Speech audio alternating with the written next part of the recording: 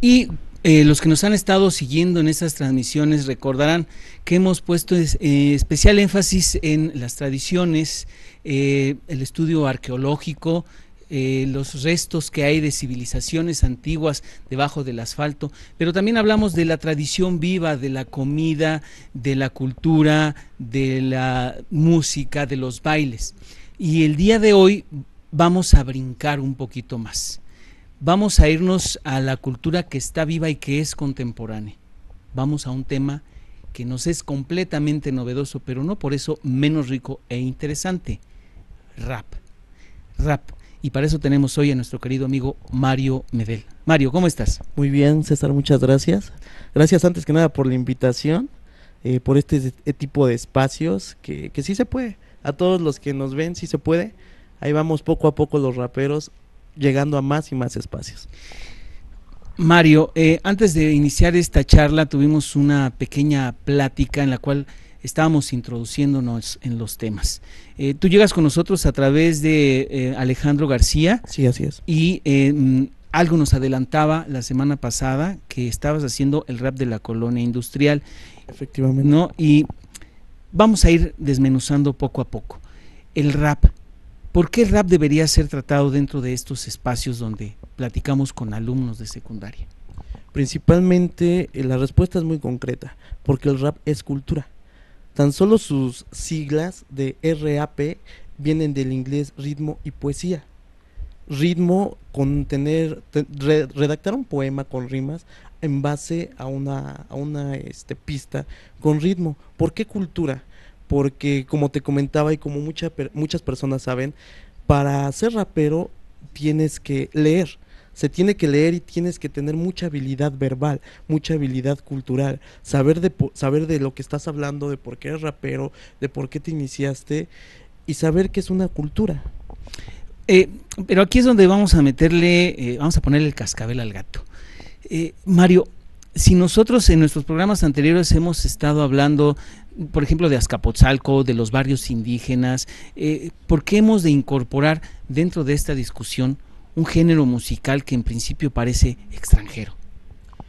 Porque, bueno, no en principio, eh, es extranjero. Es extranjero. siendo honestos, el rap surge eh, a principios de los 70 en Nueva York después del asentamiento que se dio en el Bronx sobre el metro, mucha gente afroamericana empezó a, a llegar empiezan a hacer lo que lo que traían los sound systems que en Jamaica muchas personas que venían de allá empiezan el sound system que es un sound system actualmente no sé si has visto sonideros sí claro cierran la calle ponen su sonido eso es el sound system eran DJs peleándose por la audiencia de los bloques.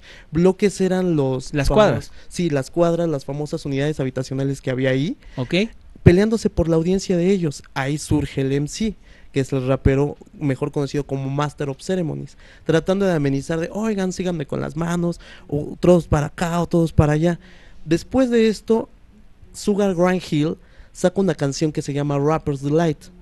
Aquí en México llega con Memo Ríos, bautizado eh. como El Cotorreo. Oh, ok, entonces estamos hablando de más de 30 años, más de 30 años, 40 años ya de una tradición cultural y musical que llega desde los Estados Unidos y a México llega con Memo Ríos. Sí, se podría decir que sí, llega con el cotorreo y la gente decía, ¿qué, qué es eso? no La mayoría de la gente pensaba que era, sobre todo el público rockero, que era una derivación de la música disco, que era una derivación de la música disco y que no iba a durar. Posterior a Memo Ríos empieza aquí alrededor de los 90 dos grupos principales que era Cuarto del Tren y Sindicato del Terror esos dos grupos fueron los primeros, se podría decir que fueron las primeras agrupaciones de rap en México. Tuvieron eh, apariciones Sindicato del Terror en un programa que se llamaba Mi Barrio.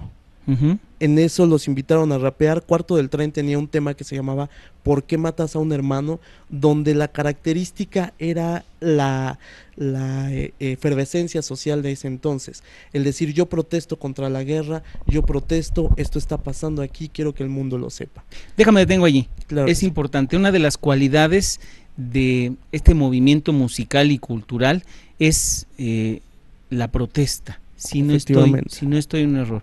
Porque eh, también está asociado el rap a ciertas regiones marginadas de las ciudades. Y esto es importante eh, subrayarlo porque aunque todos nuestros alumnos viven en colonias muy pop-ups, algunos de los otros sí tienen eh, pues, su, su, asentamiento en colonias más bien con dificultades económicas. Y su ambiente cultural más inmediato es este. Viven en el rap, porque el rap se asentó en este lugar hay cosas por las cuales protestar. ¿Estoy en un error? No, estás en lo correcto. De hecho, decía Puff Daddy, después de analizar una película con Al Pacino que se llamaba Scarface, él decía que ese tipo de película retrataba la vida de un mafioso. Digo, los raperos no, no iban a enfocarse tanto al mafioso, sino lo veían como un antihéroe. En la época de los ochentas en Estados Unidos, para un joven de color, y en palabras de Puff Daddy decía, teníamos dos caminos, o la cárcel o la muerte este tipo de películas nos enseñaron que hay una vida después del barrio, que si tú vienes del barrio, de la calle, con tu rap lo puedes hacer. En este caso, Al Pacino con su, con su estilo de bien en Scarface, Tony Montana lo hizo. Eso se enfocó a los raperos de Estados Unidos y actualmente esa película es una Biblia, no tanto por el contenido, sino por decir, ¿sabes qué? De abajo sí se puede. Y muchas personas que yo he conocido en el barrio tuvieron no sé por qué no decirlos, hacer encuentros con la muerte, con otro tipo de cosas que el rap lo salvó. o sea, estamos, perdón que te interrumpa, estamos hablando de un rap como salvación. Oye, es que esto es muy interesante. Eh, estamos metiéndonos en, pues en cuestiones eh, eh, que están en, la, en la carne viva que están viviendo cotidianamente los muchachos, nuestros alumnos de secundaria, en la calle. O sea, pueden entrar en la escuela, la escuela es, digamos, un medio más o menos seguro, pero saliendo de la calle se encuentran con condiciones de violencia, de drogadicción, de eh, cuestiones de desintegración familiar. Y tú estás hablando aquí en este contexto, tenemos con este referente que nos estás dando la película, dos alternativas, o la cárcel o la muerte. Pero el rap se propone entonces como una alternativa diferente a esa. Es un medio cultural que te permite, o es un, es un camino de creación musical que te permite decir las cosas que están pasando y darle otro sentido a tu vida. Sí, sí. Sobre todo, digo, menciono tanto de Estados Unidos porque fue su origen. El, había un, hay un promotor, productor y empresario llamado Russell Simons. Él tuvo, es hermano de uno de los integrantes y me, me, me parece de Run DMC una agrupación clásica ya en el rap. Y él, eh, en un programa que le, lo entrevistan, le hacen un homenaje, le menciona a los raperos que les dio una alternativa. De decir, ok, eres rapero, que siento que a lo mejor en México no ha habido todavía. ¿Sabes qué? Eres rapero, vive de esto. O sea, te acerco no para, como todos dicen, venderse, no para que te vendas, sino para que si tu, si tu gente es el barrio, si tu público es el barrio, ok, está bien, pero llega a otro barrio y después llega a otro barrio, y como dices tú, después llega a una colonia nice, y después de la colonia nice llega a un antro, y después que todo el mundo conozca tu mensaje. Eso es lo que hace Russell Simons y les otorga una alternativa de vida. Una alternativa de vida que, me, que dice, puedes ser rapero y puedes vivir de la música. Y actualmente en Estados Unidos el rap es una industria millonaria, ya comprobada, ya la fórmula ya se repitió, vuelven a reinventar las fórmulas. Pero a ver, déjame detengo ahí un poco. ¿No sería eh, en principio como traicionar eh, los orígenes, brincar de hacer el rap para el barrio a hacer el rap para el comercio? Esa, esa idea se tiene muy arraigada aquí. Digo, no, obviamente el rapero se, se debe a su público el público del rap es hasta cierto, cierto punto muy extraño.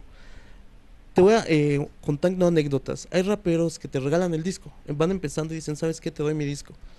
Conforme van teniendo más aceptación, van creciendo, van haciendo mejor su trabajo e invirtiéndole más a su trabajo.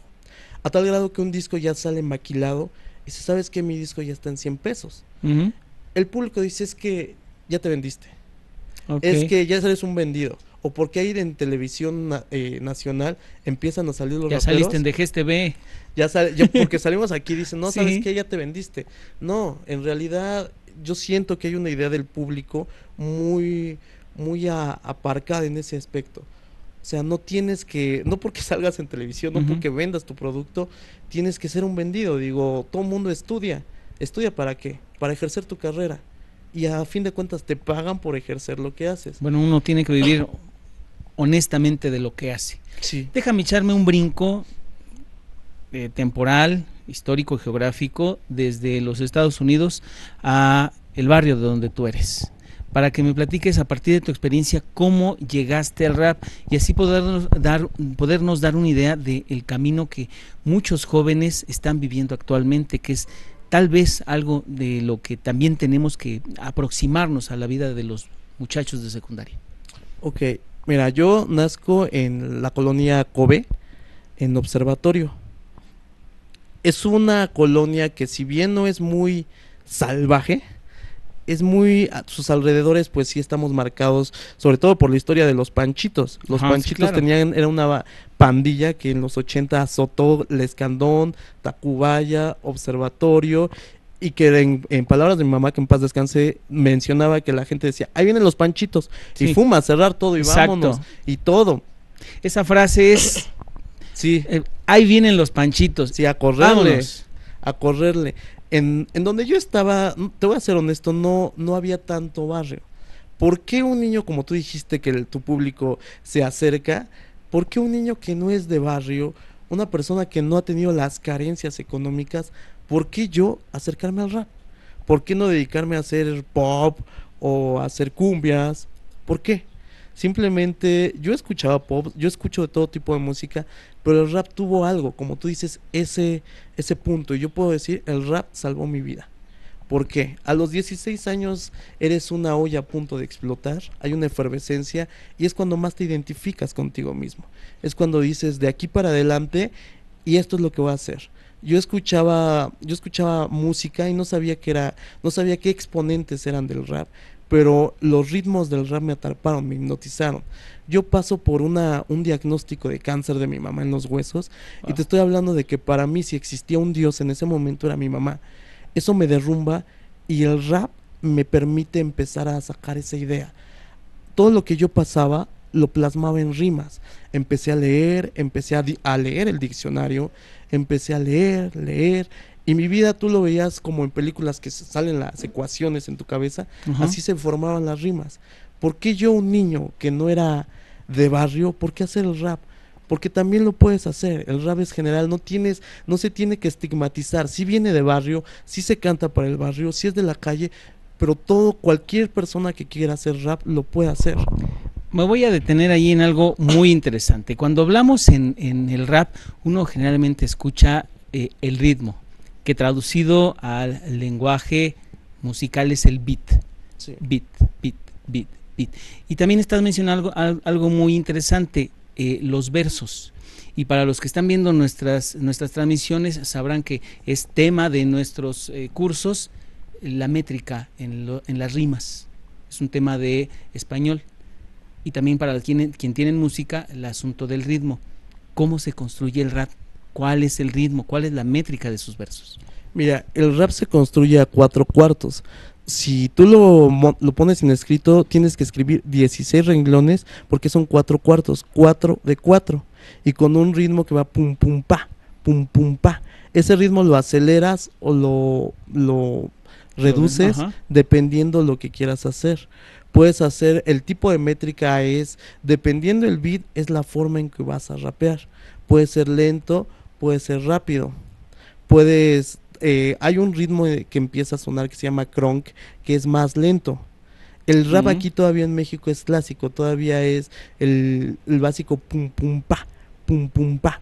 Hay muchos exponentes que ya lo están haciendo más alternativo con toques electrónicos y regresando a lo que tú decías, mucha, muchas personas, mucho público dice que eso no es rap, es que eso ya no es rap, es que se están vendiendo.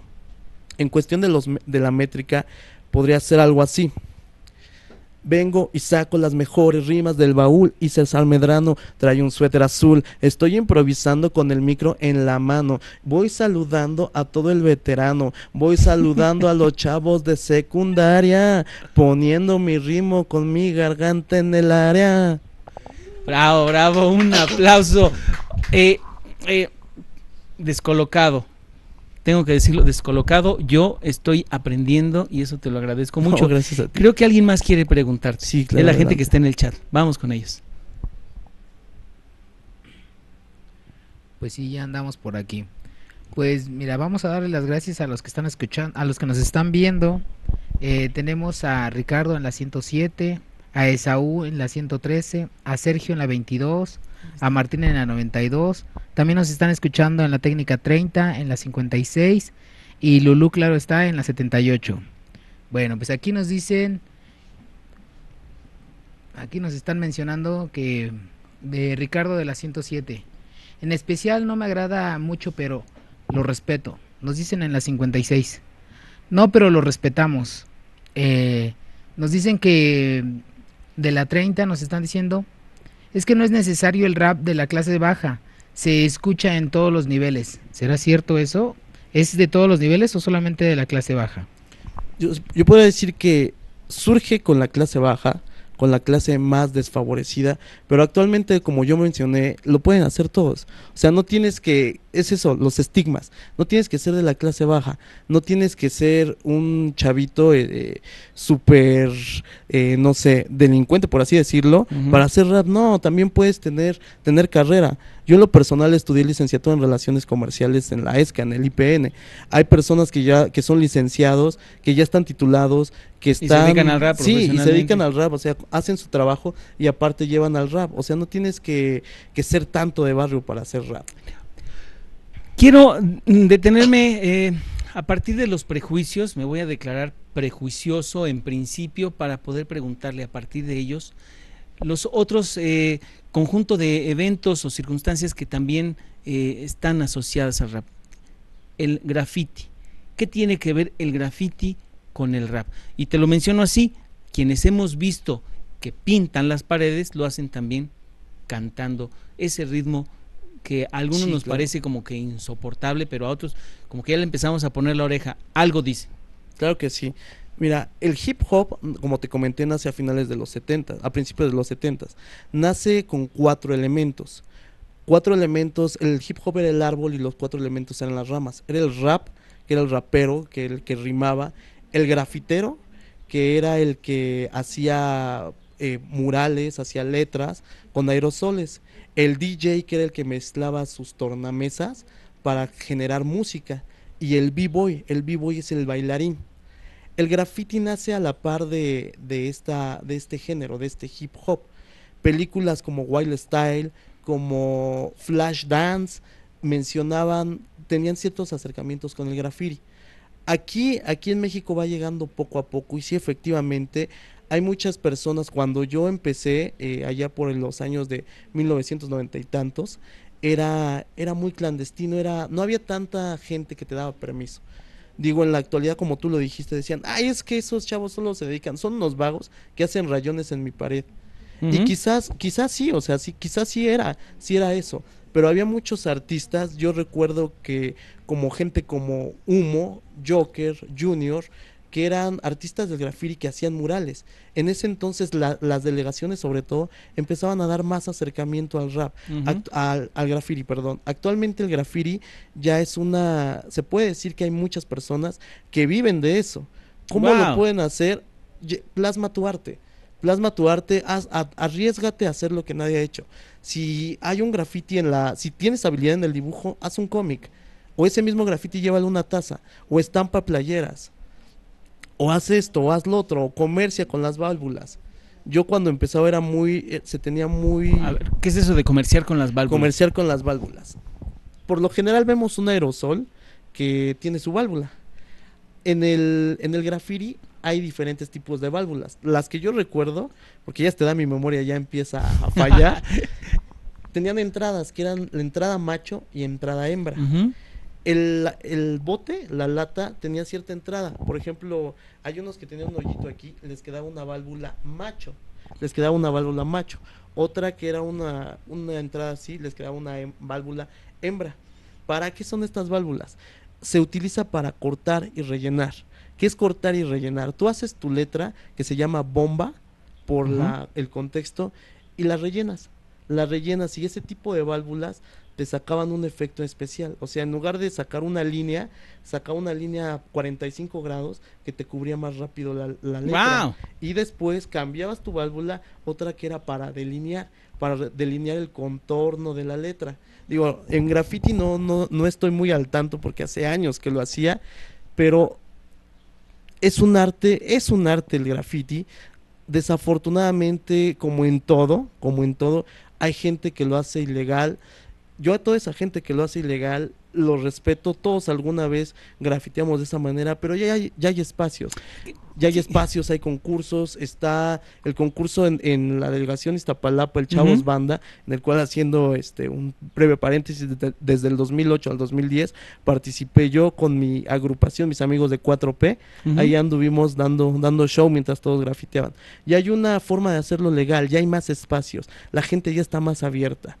Ya no hay tanto por qué hacerlo ilegal. Y déjame hacer un, paréntesis aquí. La Administración Federal de Servicios Educativos para el Distrito Federal había promovido también en años anteriores un concurso para chavos de secundaria que se llamó eh, Tus ideas en muros, en muros. Y se trataba precisamente que los chicos, eh, con el permiso debido, hicieran sus grafitis en los muros en secundarias. Y es importante resaltarlo porque expresar la creatividad de alguien no necesariamente es destruir la propiedad de otro. Hay otra serie de ideas que me vienen a la cabeza y como verás, eh, no nos da el tiempo. Hay otro fenómeno que quisiera que me platicaras, el, el beatbox.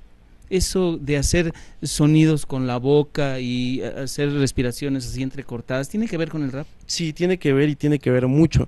Digo, yo en lo personal no manejo el beatbox, nunca lo he intentado, no sé si me salga, no. Las veces que lo intenté, pues no.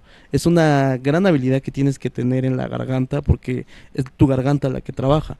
Me vienen a la mente dos beatbox aquí en, en México. Uno es Blastor, que también es rapero y es beatbox. Otro es Beatbox Gear, que es también un buen beatbox.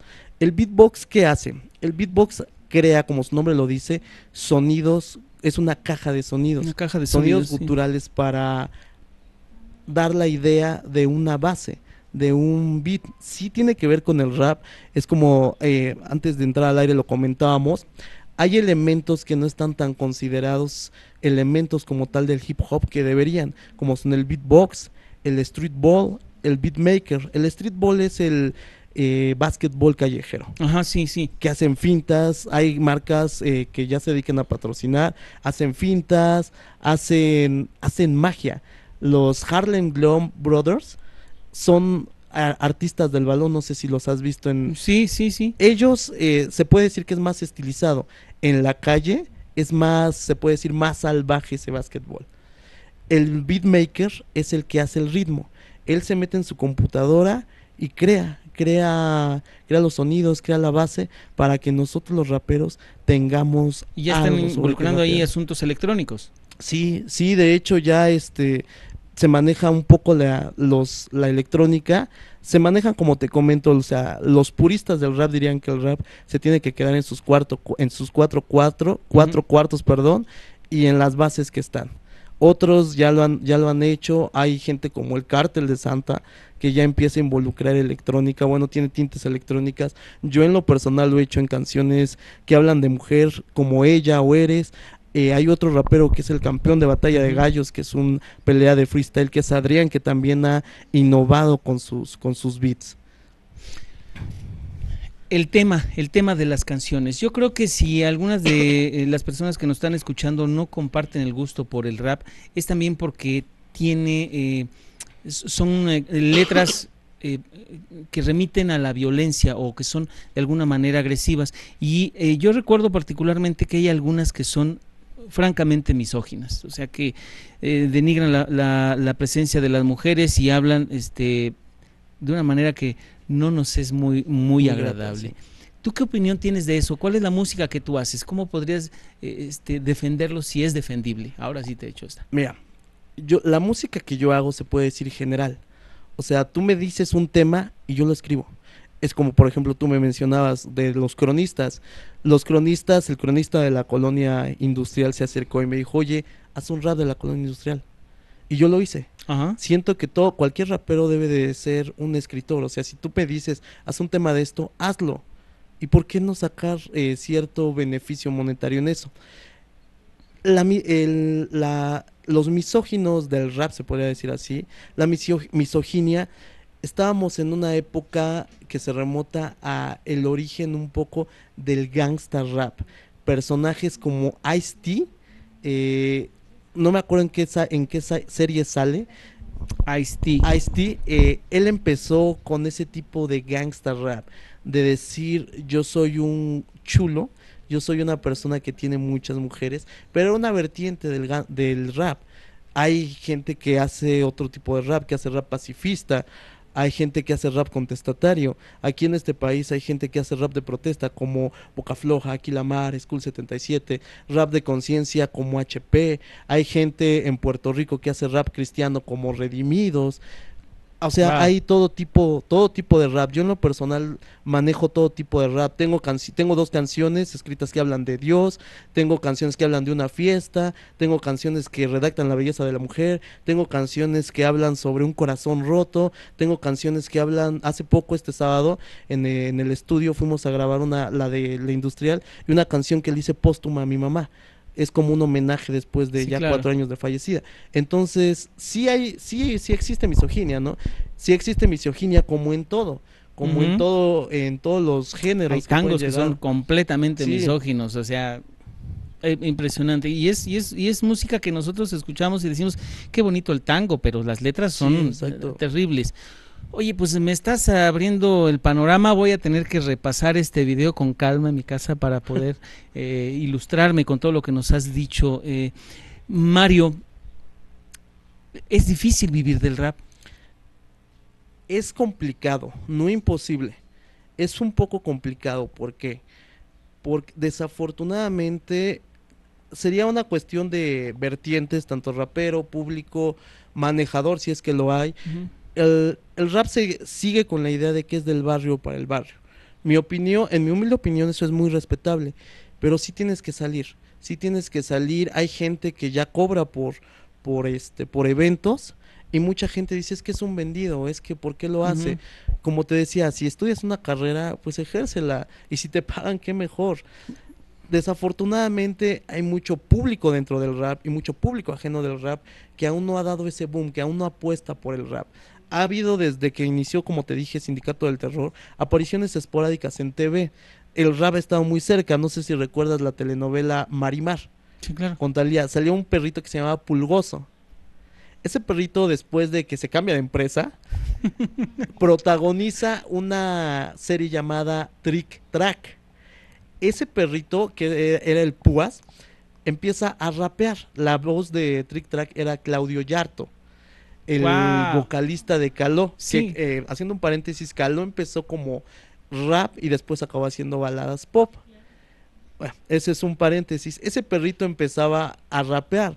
Recuerdo que al momento de iniciar la telenovela aparecía Claudio Yarto rapeando y una línea que me acuerdo es No soy Supercan, mi nombre es Trick Track. Y ese perrito, ese fue un acercamiento. El luchador Carlos Santiago Espada Conan eh, todos lo recordamos porque perdió la máscara con el perro aguayo, una lucha épica.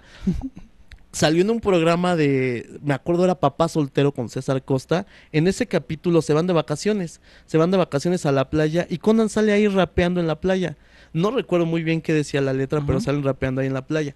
Para muchos este, estos datos eran como ofender al rap era decir es que ellos no son raperos, ¿por qué lo hacen? Actualmente hay muchos programas en radio y en televisión que están dando, hay un programa eh, sabatino que, que, invita a muchos raperos. Esos raperos tienen ya cierto renombre, cierta trayectoria y mucha gente dice es que es que ¿por qué van? Es que son unos vendidos. Es que yo siento en mi muy humilde opinión que si haces algo, pues que todo el mundo lo crea y si te pagan por eso, créelo, siempre y cuando no te vendas. Déjame, eh, cinco minutitos más, de veras, cinco minutitos más. Déjame preguntarte una cosa. ¿Cómo incorporas esta tradición cultural estadounidense a la mexicana? Digo, porque nuestro propósito es defender lo que somos como mexicanos, pero aquí en México no hay un choque entre lo que estás planteando, inclusive con el lenguaje, el beatbox, el, beat, el, eh, todos esos términos que son digamos, más lejanos de lo que cuando menos yo esperaba de alguien que tenga una cultura más mexicana. Y no, y no quiero ser así como que muy nacionalista centrado, pero la verdad es que es la vida de los chicos en secundaria, la están viviendo todos los días. ¿Cómo, cómo se empata? cómo se empata dependiendo lo que hagas, dependiendo los temas. Digo, si seamos, seamos muy honestos y a lo mejor a muchos raperos no les va a, gustar o a mucha gente no le va a gustar, el rap aquí inició por, por imitación. Como te dije, Memo Río saca el remix de El Cotorreo de Sugar Grand Hill. Empezamos a imitar. Posteriormente, ¿dónde se ve la cultura? ¿Dónde se ve el nacionalismo? En tus letras, en, lo que hablas en hablar, por ejemplo, de la colonia industrial, en hablar de lo que está pasando, no sé, eh, en el gobierno, de lo que está pasando en tu calle, de lo que pasó en tu cultura, de lo que se puede hacer un rap. Yo, yo te podría decir que se puede hacer un rap de la independencia, de la revolución, de la conquista, marcando todo eso. Está la cultura en tus letras, en cómo vives, en apostar por lo nacional en la ropa que portas. Muchos empezamos a vestirnos con ropa norteamericana y muchos de los que empezamos fundaron al término de sus carreras o en el transcurso de ellas su propia marca, su propia marca de ropa, apostaron más por lo nacional. Si te das cuenta ya no es tanto la parafernalia de que vestirte con cadenas, con ese tipo de, de estilo ostentoso. No es apostar con... Si tú te sientes como con una playera y tu playera es de la selección, pues póntela y ponte a rapear básicamente contestando a tu pregunta, resumiendo, ¿en dónde está la cultura? En las letras que tú hagas, en el origen que tú tienes y hacia dónde vas. Pues eh, quiero redondear esta entrevista eh, resaltando eh, las cualidades de nuestro invitado. descoloca incluso la postura de, de muchos nacionalistas acendrados. No está ni siquiera de un lado ni de otro, no está instalado ni en la derecha, ni en la izquierda, ni arriba, ni adelante. Es una generación nueva que está pugnando por definirse a sí misma y echa mano de los recursos que les da la cultura mundial y se recrea. Eso lo celebro y también les invito a las personas que nos están viendo que lo vean, que también está ocurriendo con nuestros chicos de secundaria. El rap es cultura viva y a través de eso están conviviendo y aprendiendo muchas cosas. Y también puede ser un medio para que ellos desarrollen el contenido de sus clases. ya este Mario nos ha dado algunos ejemplos y seguramente podrán echar mano eh, los maestros de este recurso. Muchas gracias, Mario. Gracias a ti por la entrevista y gracias a todos los que nos están viendo. Mi nombre de rapero es Efil Rottweiler, así me pueden encontrar en Facebook, Efil Rottweiler. Y muchas gracias a este espacio. Como ven, si hay espacios. Si hay espacios. tocar puertas. Muchas gracias. Pues esto fue Crónicas de la Ciudad con un tema novedoso, apasionante y para muchos descolocador, por decirlo menos. Nos vemos, yo soy César, el Sensei Medrano. Hasta la próxima. ¿Sabías que una idea puede cambiar al mundo? Pepe y Toño te invitan a participar en el primer gran concurso para emprendedores. Soluciones para el futuro. Utiliza la tecnología y las ciencias para mejorar tu comunidad y gana increíbles premios. Infórmate en solucionesparalfuturo.com.mx. Consejo de la Comunicación, voz de las empresas. ¿Sabías que una idea puede cambiar al mundo? Pepe y Toño te invitan a participar en el primer gran concurso para emprendedores. Soluciones para el futuro. Utiliza la tecnología y las ciencias para mejorar tu comunidad y gana increíbles premios. Infórmate en solucionesparalfuturo.com.mx. Consejo de la Comunicación, voz de las empresas.